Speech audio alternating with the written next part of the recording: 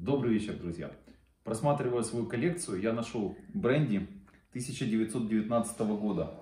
Мы его открыли в 2019 году, ему тогда было 100 лет. То есть сейчас ему уже 102 года. И вот я его решил сегодня допить и поделиться с вами вкусом, запахом и вообще, что я по нему ощущаю. Конечно, для наслаждения, для того, чтобы получить полную гамму вкуса и ощущений, я его налью в свой любимый бокал.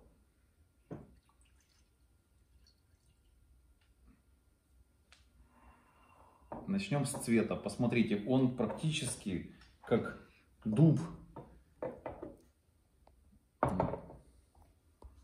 Глубокий, насыщенный цвет. Такого я, в принципе, не могу сказать, что я очень много коньяков пил. Но мы сравнивали его с разными видами коньяка. И всегда этот бренди побеждал.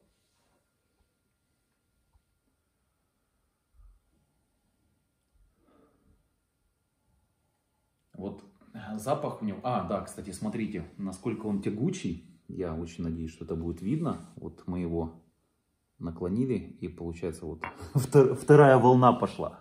То есть очень тягучий, очень насыщенный. Ну, не зря ему 102 года.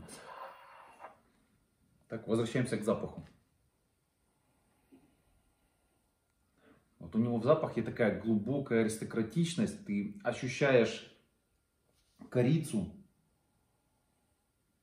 какое-то дерево такое, вот знаете, такое старое дерево,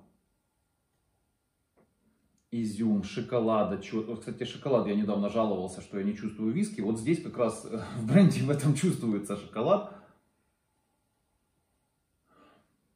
Восхитительный запах.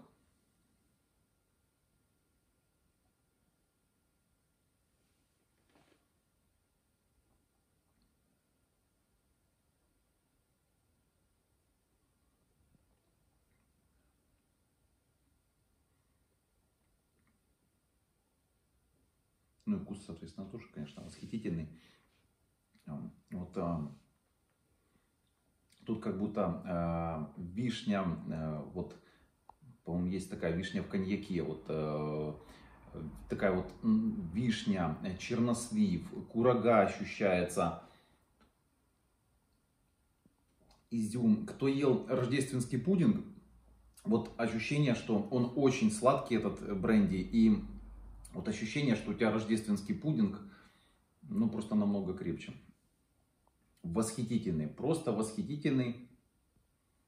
Бренди был у нас 1919 года, уже закончился. Хорошего вечера, друзья.